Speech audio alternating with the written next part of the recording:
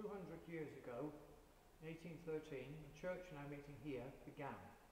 This brief video just tells you something of the history of this church over the last 200 years. It's here our story begins. Behind us is Witchpit Wood. In the 1600s, the Baptists of this area met in this wood for worship. Otherwise, they would have known much persecution. For several years, they met here, this secluded spot where they could see anyone coming, although it's only a quarter of a mile from the nearest road. Here, they were able to worship in comparative freedom.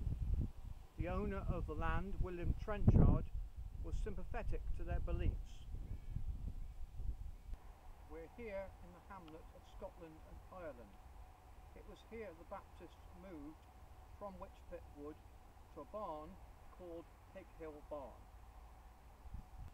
By 1697, a number of believers were now meeting in Trowbridge.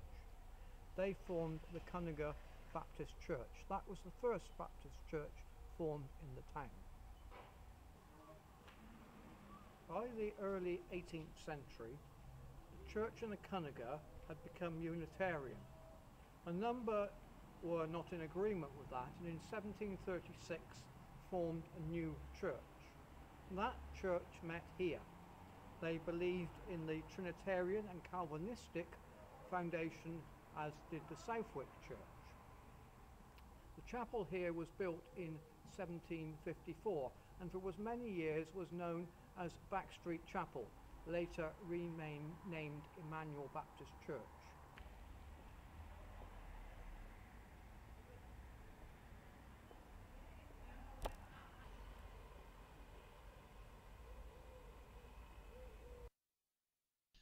In 1809, the Backstreet Church book records that their pastor, Nathaniel Rawlings, died.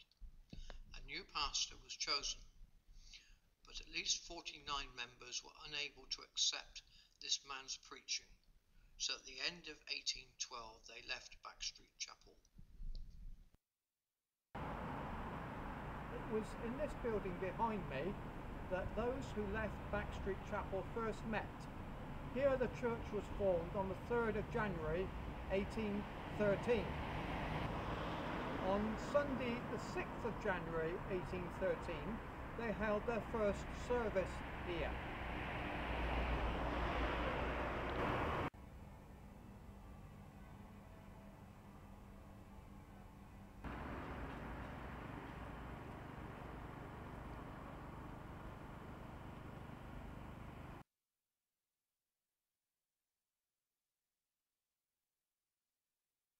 On the 31st of March, the Warburton family arrived in Trowbridge, here in the marketplace. John Warburton writes in his book On Wednesday morning, my wife, myself, and our eight children left Manchester by the coach, stopping at Birmingham a night, arriving at Bristol on Thursday evening, and on the Friday evening got safe to Trowbridge. My poor soul was indeed melted with gratitude to the God of all my mercies for his kind protecting care over such a poor worm and his little tribe in bringing us safe nearly 200 miles. John Warburton and his family set up their first home here in the Halve. He says, But when I arrived in Trowbridge, I was quite overcome to see how the hearts of the people had been opened and their kindness manifested in fitting me up a house with everything needful from beds to dishes and spoons. Surely, thought I, the Lord is here, for the people in general were a very poor people. But what cannot be done when God undertakes? There are no impossibilities with him. And with what power did these words sound again in my soul? Abide in this city, for I have much people here.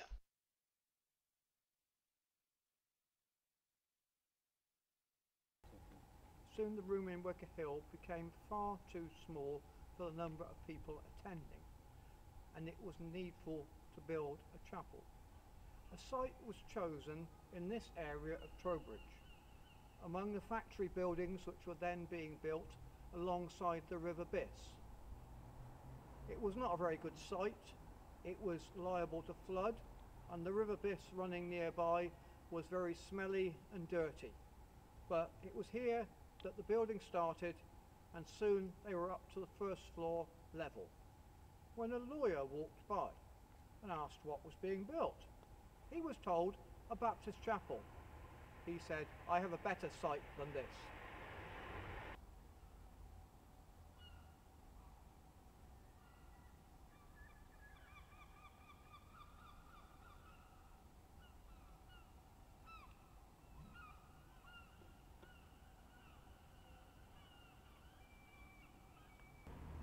was the site which they bought at a cost of £1,232. Opened in June 1816 to seat 760 people, although often a thousand people would cram inside.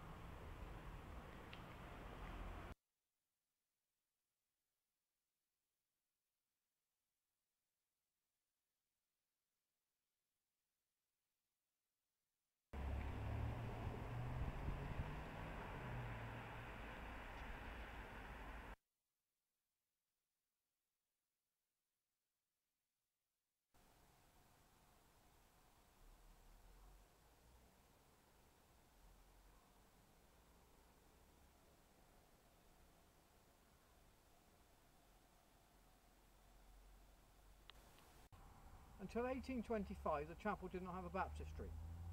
Many baptisms were carried out at Ladydown Mill Pond, further down the canal. But by 1824 they met here. Here Warburton would preach to thousands of people and then baptise people at Bird's Coal Wharf in the canal behind me.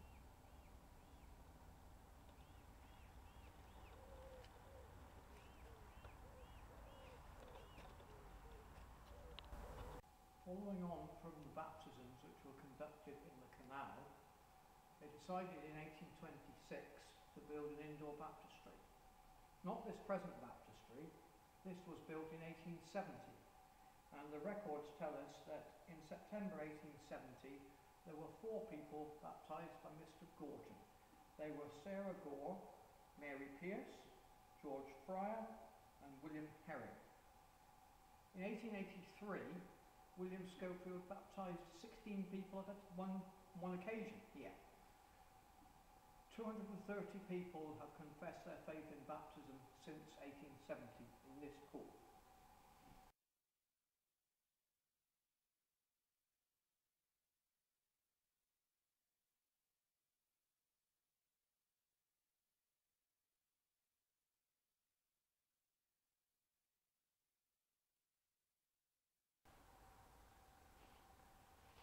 Here at Trowle Common, John Warburton decided he would buy a small holding. It didn't work. This is what he says. I was trying hard in another to break through there. Sometimes on a Saturday I verily thought I should go mad, for I could get no text. Everything was going wrong in the house. Sometimes the pigs got over their sty into the garden, ploughing up the few potatoes I had left, tearing up the cabbages and spoiling everything that came near. I remember particularly one Saturday they had been in the garden and I'd driven them out, not in the best of tempers, as I thought fastened them completely, but I considered it would be impossible for them to break out.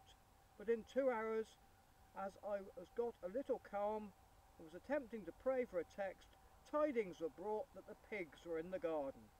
Oh, thinks I, the very devil must be in the swine, and I believe he was not very far from them when I got near them, for the devil was very strong in me, and it was a wonder that I was kept from swearing. For I verily believed never did a poor blasphemous wretch come out with more oaths outwardly than I felt inwardly. When I got them secured in their house again and got into my room, oh the terror that seized my poor mind for the feelings that I had. How I hung down my poor head and wished I'd never been born. I could neither see nor feel any more grace in my heart than that there was in the swan.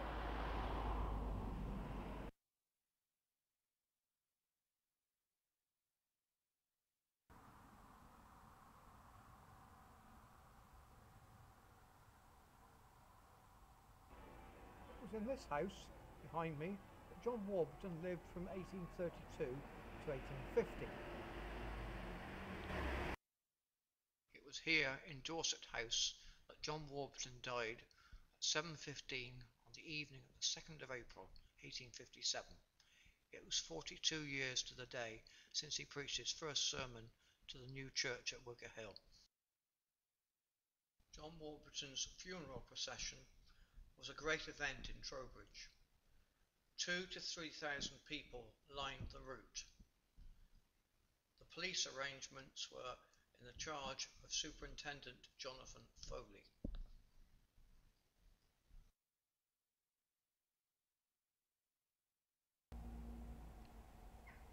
Here we are in Trowbridge Cemetery. This tomb marks the last resting place of the mortal remains of John Warburton. He was laid to rest here on Good Friday 1857.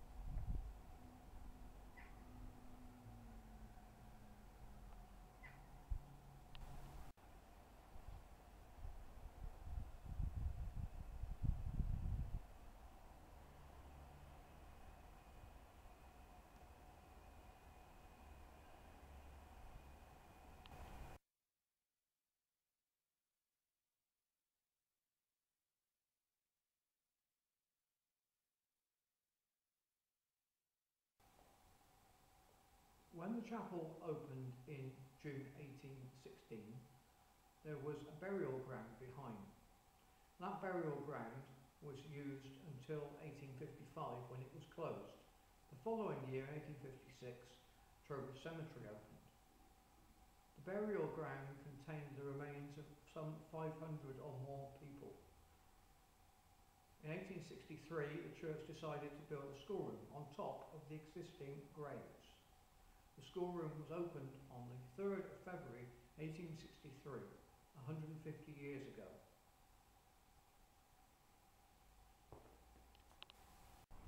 In 1879, the Sunday school needed more classrooms, so William Applegate stepped in and built three classrooms seen behind me. They were opened on the 30th of June 1879. The middle one was used for the infants and the other two classrooms provided room for the young men's Bible class and the young ladies' Bible class.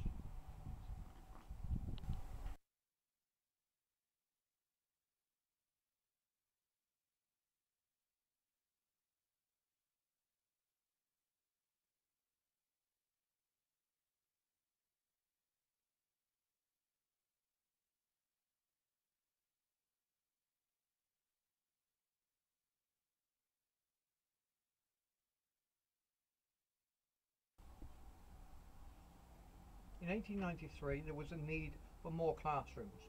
William Applegate stepped in once again. This time he bought a whole row of cottages that stood on this site, called Barton's Court. The majority were demolished and the classrooms behind me were built.